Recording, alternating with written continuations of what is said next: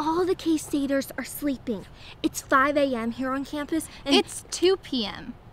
right. Well, I wonder what Willie the Wildcat is doing. What are any of us doing? Here's what you could be doing this week. I have so much going on this week, I'm starting to wonder what's the point? No need to be existential drama queen. Just go to the De-Stress for Success event. Life's absurd. Be amazing when you're handling your mental health in a healthy way. Do I have to change my clothes? No, the de-stress event actually welcomes pajamas. There will also be stress balls, relaxing videos, and information on how to handle your mental health.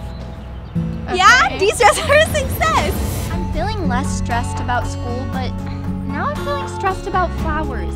Why do they grow and what makes them all so different? Well, Rachel, you should get to know flowers at tea time. Create your own floral arrangements while sipping tea. I just don't know that I see a point. There will be scones. You should have started with that. You know, Andrea, I'm feeling more at ease now. Life is pretty beautiful. Well, hey, do you want to go see the government inspector with me? The government's watching me? Did I mention it's a play? My bad.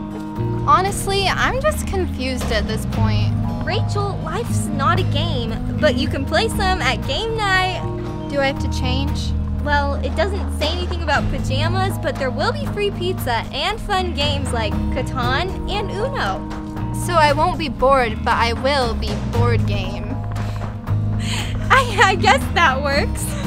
Okay, that's the Board end game. of this episode.